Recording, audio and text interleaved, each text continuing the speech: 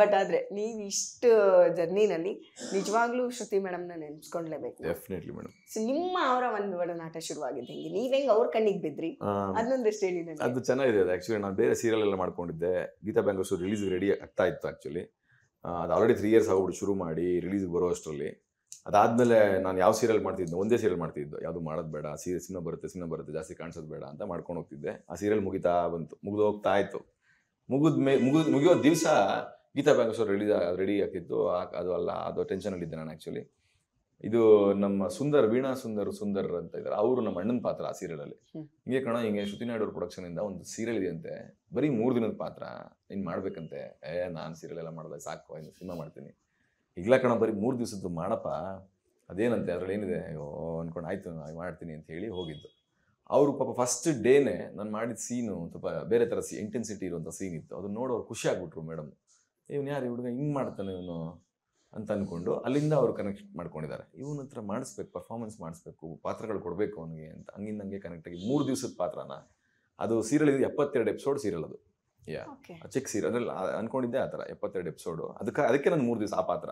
ಚಿಕ್ಕ ಸೀರಿಯಲ್ ಥರ ಮಾಡಿ ಬಿಡೋದು ವೀಕೆಂಡ್ ಥರದ್ದು ಏನೋ ಮಾಡಿರೋದು ಅತಿ ಮಧುರ ಅನುರಾಗ ಅಂತ. ಅದಕ್ಕೆ ಹೋಗಿದ್ದಾನೆ ಆ ಮೂರು ದಿವಸದ ಪಾತ್ರನ ಇಡೀ ಎಪ್ಪತ್ತೆರಡು ಎಪಿಸೋಡ್ ಮಾಡಿಬಿಟ್ರು ಅವರು. ಅದ್ರ ಮೇಲೆ ತಿರುಗ್ಬಿಟ್ರು. ಹಂಗಾಗೋಯ್ತು. ಅಲ್ಲಿಂದ ಕನೆಕ್ಟ್ ಆಗಿ ಮಾತಾಡಿಸಿ ಇದು ಮಾಡ್ಕೊಂಡು ಹೋಗ್ತಾ ಅವ್ರು ಖುಷಿ ಆಗ್ಬಿಟ್ರು ಅವರು. ಅದಾದ್ಮೇಲೆ ಇನ್ನೊಂದು ಸೀರಿಯಲ್ ಅವ್ರದ್ದೇನೆ ಪುನರ್ವಿವಾಹ ಅಂತ ಬಂತು. ಅದರಲ್ಲಿ ಒಂದು ಪಾತ್ರ. ಅಷ್ಟರಲ್ಲಿ ರಿಲೀಸ್ ಆಯಿತು ಸಿನಿಮಾ ರಿಲೀಸ್ ಆಯಿತು. ಸಿನಿಮಾ ಹಿಂಗಾಗೋಯ್ತು ಅವ್ರಿಗೆ ಇನ್ನೂ ಬೇಜಾರಾಯ್ತು. ಇಷ್ಟು ಒಳ್ಳೆ ಪಾ ಹುಡುಗ ಪಾಪ ಕೆಲಸ ಮಾಡ್ತಾನೆ. ಆ ಸಿನಿಮಾದಲ್ಲಿ ಅಷ್ಟು ಚೆನ್ನಾಗಿ ಮಾಡಿದ್ದಾನೆ, ಆಗಲಿವಲ್ಲ. ನಾವೇನಾದ್ರು ಮಾಡೋದ್ರು ಮಾಡೋಣ ಅಂತ ಹೇಳಿ ಶುರುವಾಗಿದ್ದು ಪ್ರೀಮಿಯರ್ ಪದ್ಮಿನಿ. ಏಕ್ದಮ್ ಹೀರೋ ಮಾಡೋದು ಕಷ್ಟ ಆಗುತ್ತೆ ಅಂತ ಜಗ್ಗೇಶ್ವರ್ ಸರ್ನ ಕರೆಸಿ, ಅರ್ಜುನ್ ಜನ್ಯ ಎಲ್ಲರನ್ನು ಕರೆಸಿ ಒಂದು ಸ್ಕ್ರಿಪ್ಟ್ ಮಾಡಿ. ಅದರಲ್ಲಿ ಈ ಪಾತ್ರ ಜಾಸ್ತಿ ಎಮೋಷ್ನಲಿ ಹಾಂಟ್ ಆಗುವಂಥದ್ದು ಮಾಡಿ. ರಮೇಶ್ ಇಂದ್ರ ಸರ್ ಮಾಡಿದ್ದು. ತುಂಬ ಅಂದರೆ ಅಂದರೆ ಚೆನ್ನಾಗಿತ್ತು. ಅದೊಂದು ಪ್ರಾಸೆಸ್ ಇದೆಯಲ್ಲ ತುಂಬ ಅದು ತುಂಬ ದೊಡ್ಡ ವಿಷಯ ಹಂಗಲ್ಲ. ಯಾರು ಯಾರು ದುಡ್ಡು ಹಾಕ್ಬಿಟ್ಟು ಸಿನಿಮಾ ಮಾಡಲ್ಲಮ್ಮ ಹೌದು ಒಳ್ಳೆ ಪರ್ಫಾರ್ಮರ್ ಅಂದ ತಕ್ಷಣ ಹಂಗೆ ಮಾಡ್ತಾರೆ ಅಂತಂದರೆ ದೊಡ್ಡ ಗುಣ ಅದು. ಕರೆಕ್ಟ್ ಸೊ ಅವ್ರು ಹಂಗೆ ಮಾಡಿದ್ದಕ್ಕೆ ಅಲ್ಲಿಂದ ನೆಕ್ಸ್ಟು ಮತ್ತೆ ಮತ್ತೆ ಮತ್ತೆ ನೆಕ್ಸ್ಟ್ ರತ್ನ ಪ್ರಪಂಚ ಒಂದು ಬೇರೆ ಆಗೋಯ್ತು. ಅದರಿಂದನೇ ಅದು ರತ್ನ ಪ್ರಪಂಚ. ಬಟ್ ನೀವು ಅವ್ರದ್ದು ಲೈಫ್ನು ಅಷ್ಟೇ ತುಂಬಾ ಯಾ ಯಾ ಅವ್- ಅವ್ರಂದ್ರೆ ಒಂಥರ ಗಂಡು ಹುಡುಗ very strong very strong? Mentally ಸಖತ್.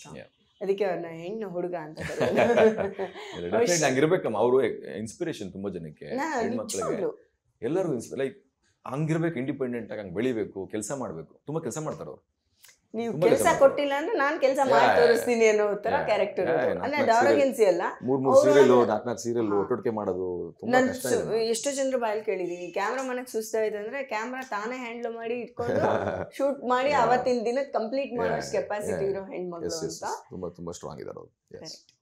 ಒಂದ್ ಬ್ಯಾಕ್ ಬೋನ್ ನಿಮಗ್ ಸಿಕ್ಕಿರೋದು ನಿಮ್ಮ ಲಕ್ ಎಸ್ ನಿಜವಲ್ಲೂ ನಿಜವಾಗ್ಲು. ಮೂರು ದಿನ ಪಾತ್ರ ಮಾಡಕ್ ಬಂದವನ್ಗೆ ಈ ಥರದ್ದು ಏನೇನು ಆಗುತ್ತೆ ಅಂದ್ರೆ ಇಲ್ಲೆಲ್ಲೋ ಅದು ಇರುತ್ತೆ ರೀಸನ್ಸ್ ಇರುತ್ತೆ ಎಲ್ಲದಕ್ಕೂ. ಜೀವನದಲ್ಲಿ ಏನ್ ನಡೆಯುತ್ತೆ ಅದೆಲ್ಲದಕ್ಕೂ ಒಂದು ರೀಸನ್ ಇದ್ದೇ ಇರುತ್ತೆ.